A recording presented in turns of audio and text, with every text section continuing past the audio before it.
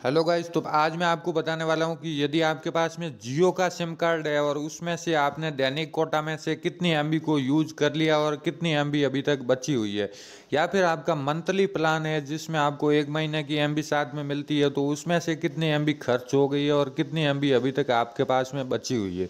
तो दोस्तों, वीडियो को पूरा एंड तक ध्यान से देखना है, मैं आपको पूरा स्टेप बाय स्टेप बताने वाला हूँ। तो दोस्तों, जियो में एमबी को चेक करने के लिए आमतौर पर दो तरीके हैं। पहला तरीका है, आपको प्ले स्टोर से जियो या माई जियो एप्लीकेशन डाउनलोड करके अपने मोबाइल में इंस्टॉल करनी है और आपके जियो मोबाइल नंबर से रजिस्ट्रेशन करके आप उस एप्लीकेशन के माध्यम से भी चेक कर सकते हैं। दूसरा तरीका जो मैं आपको बताने वाला हूँ, बिना एप्लीकेशन डाउनलोड किए झंझट मारी गए तो उसमें आपको अपने मोबाइल में जियो के कुछ अंक होते हैं, वो डायल करके आपको मैसेज के द्वारा आप उसमें एमबी को चेक कर सकते हैं कि कितनी एमबी आपके पास में बची हुई है।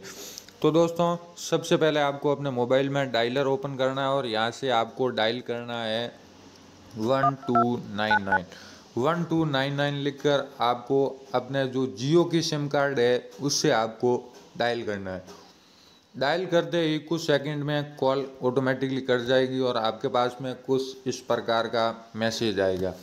मैसेज में लिखा हुआ है, बैलेंस फॉर जियो नंबर आपके आगे मोबाइल नंबर लिखे हुए होंगे। फिर आपका प्लान है, जो एम बी जित, जिसके हिसाब से मिलती है, वो लिखा हुआ होगा। उसके बाद में देखिए डाटा।